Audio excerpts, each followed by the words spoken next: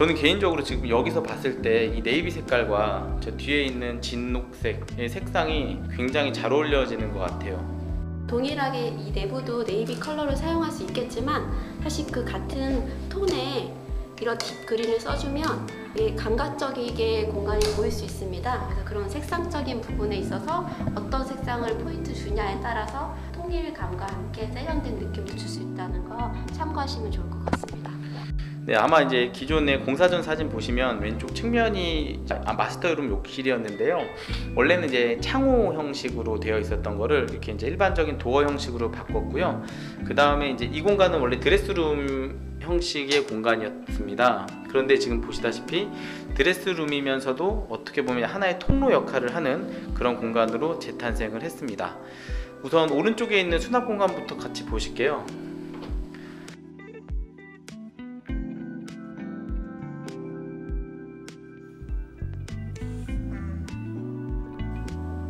일단 이 조명이 이 공간을 충분히 밝혀지진 않지만 만약에 화장을 하거나 뭔가 꾸미는 용도로서는 충분히 밝기는 나오는 것 같아요.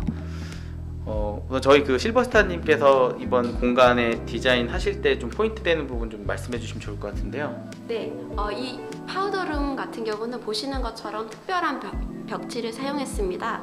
수입 벽지인데요. toile 벽지라고 합니다.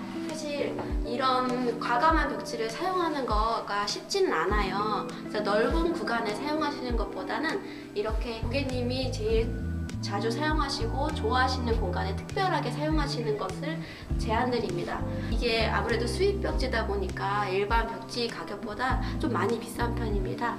그래서 저는 이 구간에 이렇게 수입 벽지를 제안드렸고 고객님도 흔쾌히 수락하셨습니다. 네, 그 벽지가 좀 비싸봐야 얼마나 비싸겠냐 하겠지만 어, 여기가 이제 그렇게 넓지 않아요. 아마 가로가 한 1.3, 4m 될 것 같고요. 길이는 한 2, 2m에서 2.1m 정도 되는 것 같습니다. 여기 벽체만 전체 시공하는데 벽지값만 한 60만 원 정도 들었던 것 같아요. 일, 웬만한 20평대 아파트 전체 다 도배한 도배집 그 비용이라고 보시면 될 것 같습니다. 그거 대비했을 때 상당히 어, 비싸다는 것을 아실 수 있어요. 특히 이제 이번에 보면 여기 정면부가 여기만 봤을 때는 좀 약간 외국처럼 느껴지는데 네. 어때요? 네, 사, 사실 저도 그 부분을 사실 생각하고 이렇게 벽지를 제안 드렸습니다. 왜냐하면 딥그린 컬러가 사용되고 또 고객님이 좋아하시는 골드 컬러가 사용되고 했을 때 어떻게 하면 이 부분, 이 구간을 특별하게 보일 수 있을까 생각했을 때 이런 무늬가 있는 수, 수입 벽지를 사용한다면 정말 특별한 공간이 될 것 같아서 제안 드렸습니다. 이런 이제 조명이나 거울 같은 경우는요. 조명이나 거울은 전체적으로 wainscoting이 클래식한 느낌이 들기 때문에 그 느낌과 어울리는 조명을 선택했고요. 제 골드 프레임이 들어가는 거울을 선택해서 이 전체적인 포인트가 연결되도록 하였습니다. 지금 보시다시피 거울에 비춰지겠지만 이 공간 자체가 상당히 색도 강하고 또 여러 가지 디테일한 것들이 들어갔다는 걸 보실 수가 있어요.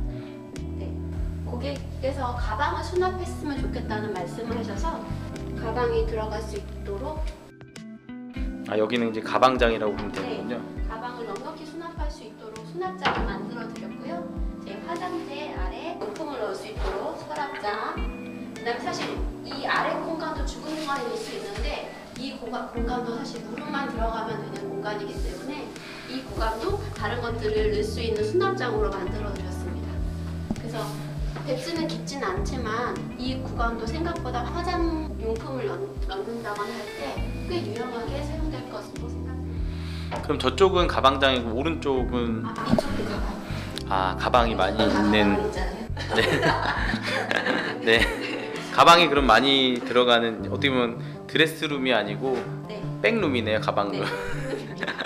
네, 그러면 이제 이쪽 공간도 이제 드레스룸 겸 뭐 가방룸 한번 같이 보셨고요.